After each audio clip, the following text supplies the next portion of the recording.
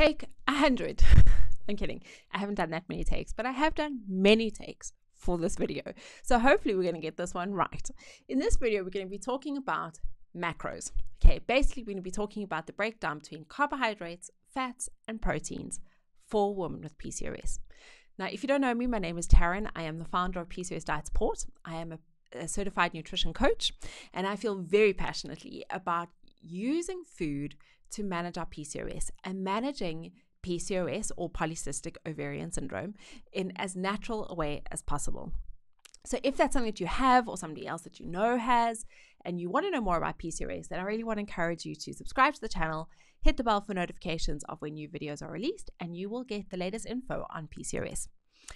Let's talk about macros. What the heck are macros? Basically, macros stands for macronutrients. When we talk about macronutrients, we are talking about carbohydrates, fats, and proteins. When we're talking about micronutrients, we're talking about the vitamins and minerals that are actually found in the carbohydrates, fats, and proteins. Okay, things like iron, vitamin D, vitamin A, vitamin E, all those things that are found in foods. Those are micronutrients, but the actual carbohydrates, fats, and proteins are the macronutrients. Now, why on earth should we even bother with macros? What's the point in even talking, having this conversation? Do you know how many diets are based on the macro breakdown? Things like the low carb, high fat, low carb, high protein, carnivore diet, um, South Beach diet, Banting diet, so many di- diets. Look at this breakdown between carbohydrates, fats, and proteins because each macronutrient has a different way of being metabolized. There's a different hormonal impact of all of these different um, of all these different macronutrients. So, specifically, when we're talking about women with PCOS, we know that women with PCOS tend to be insulin resistant and that insulin plays this really key role in our PCOS. And there's a really close link between insulin and testosterone levels, which are very high in women with PCOS. So, if you want to know more about this link between insulin and testosterone and PCOS, then I really want to encourage you to watch this video on the three pillars to managing PCOS naturally, because I go into a lot more detail. But if women with PCOS tend to be insulin resistant, very often the immediate reaction is that if we need insulin to um, deal with the carbohydrates or the glucose in our bloodstream, and we have this problem with insulin, then surely if we lower the carbohydrates that we have, that we will get better results with our PCOS. And that leads a lot of women to try the keto, the keto diet or the low carb, high fat diet. And there is some thinking about that. And there's also some research that shows that women who tend to have a lot more carbohydrates tend to struggle more with their PCOS symptoms. So there is some um, logic to this thought, but I do not believe that you need to be completely ketogenic to manage your PCOS. Also, research shows that women who have women with PCOS who tend to have higher protein in their diet tend to be less insulin resistant and also get really good results. So the question now is well, if too many carbohydrates are going to be harmful and if too little carbohydrates are not recommended, well, how many carbohydrates should we actually even be having?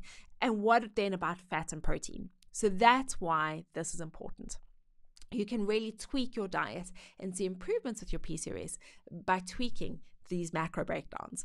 Okay, let's talk specifically about carbs. Now, we've spoken a lot about carbohydrates and their effect on, on insulin.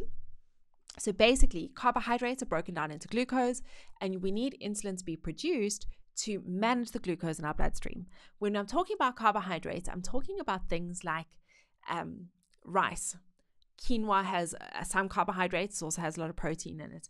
Um, potatoes, um, pastas, those things that are high in carbohydrates. Okay, that's generally what I'm referring to. Now, you not all carbohydrates are made equal either. You get some carbohydrates that are going to be really refined and processed.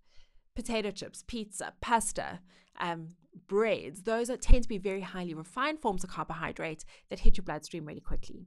Then you get things like sweet potato, butternut, um, some like even basmati rice, brown rice, wild rice, those still are carbohydrates, but they are more slowly absorbed, more, more slowly metabolized, and are possibly a healthier option than the really quickly processed um, or really quickly metabolized carbohydrates.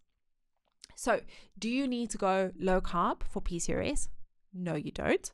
We will talk about the breakdown between carbohydrates, fats, and proteins um, pretty soon. But let's first work out what the deal is with protein.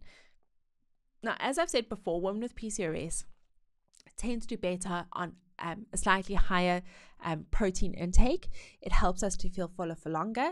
It helps to manage insulin resistance, and it can help to um, it, it, yeah, it can help to balance the hormones. Now, a lot of women are concerned about the um, hormones that are found in animal-based proteins in in meat products, and that's why I always do recommend if you can afford organic protein. Um, and lean protein, then that's always what I would recommend. So the quality of the protein is important.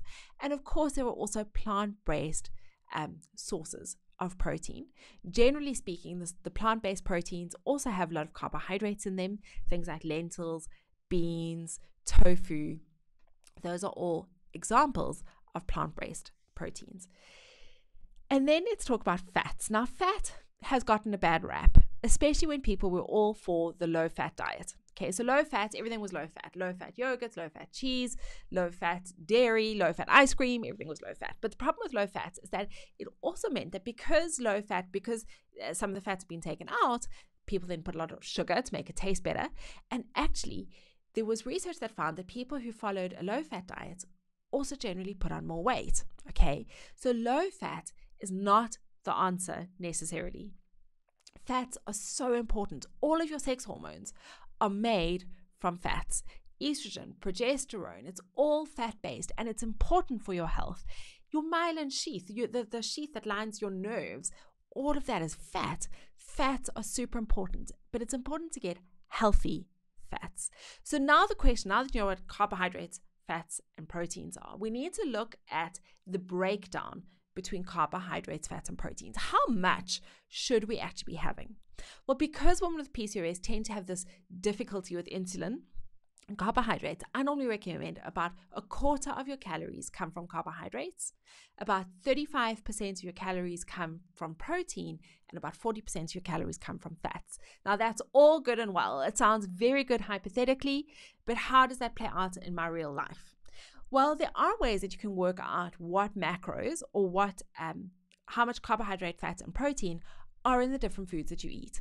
Now, one of the ways that you can do that is using a tracker like MyFitnessPal is a good example of trackers for your um, for your macros. Basically, what you do is you put in what you are eating for breakfast, lunch, and supper, and and um, MyFitnessPal will tell you how much carbohydrate, fat, and protein you are having, and you can then break that down into how much, um, what percentage of what you're eating is carbohydrates and fats and protein. The other thing that I that I have developed is something called PCOS Foodies. PCOS Foodies is an online app where you get access to, uh, to over a thousand um, PCOS friendly meals. I meal plan as well to make sure that you are getting that good breakdown between carbohydrates, fats, and proteins. So if you want to check out PCOS Foodies, I will put a link in the description below. What I will say is that if this feels overwhelming for you, if tracking every single meal that you eat feels overwhelming for you, I completely understand. And if you're a fitness um, fanatic and if you've been tracking macros for a really long time, then these tools do have their place and they can be helpful. But for a lot of people, it you know maybe you want to track for a week or two weeks and then you get a better idea of what you're eating and you choose not to track anymore so again those are all options if this feels very overwhelming i completely understand okay and that's why I want to show you what is on your PCOS plate. Okay. That's what we're going to be talking about now. What actually, visually, how do I tell just by looking at my plate that I'm having the right breakdown? And I've de- I've developed this, okay? Your PCOS plate. Your PCOS plate is basically we want to fill half of that plate with really good non-starchy fruits and vegetables. Greens, carrots, tomatoes, um, broccoli, cauliflower, celeriac. There are so many incredible options, and you can just look at that infographic and see, as well as fruits. Those are important. So, you want half of your plate to be filled with um, fruit and non starchy um, vegetables. Okay, so that's at least 50% of your plate. Then you want a quarter of your plate with protein, whether it be plant based or meat based protein. You need a quarter of your plate to be filled with protein. Then you want some of your plate to be filled with starchy um, or smart carbs. Okay, things like butternut, potato, sweet potato. Um, you can put in rice, rice as a smart carb. Those are the smart carbs that we are looking for. So we do need some of them. The smart carbs are important to us. We just don't want half of our plate to be filled with rice, for example. We need to think about how much of that we are having. And then we need to make sure that we are having healthy fats, things like olive oil, um, avocado, nuts. Those are all good sources of healthy fats. So if all this macro uh, malarkey just feels like way too overwhelming, then I really want to encourage you to have a look. And I'm actually going to put a link in the downloads um, in the description below so that you can download a copy of this for yourself so that you know what that macro breakdown should look like. So that's what I wanted to chat to you about today about macros. I hope you found that helpful. Please leave me a comment below. If you like this video, if it was helpful, I really want to encourage you to give me a thumbs up. It means a lot and it goes a long way for the um, YouTube algorithm. It's also really helpful for me to get feedback from you as to what videos you like, what videos um, are resonating with you. And then if I get videos that don't get so many likes, then I know, okay, well, maybe this topic isn't really meeting your specific needs. If you have any comments or you um, you want to ask any questions about macros, please leave me a comment below. I'm really happy to get back to you. Bye.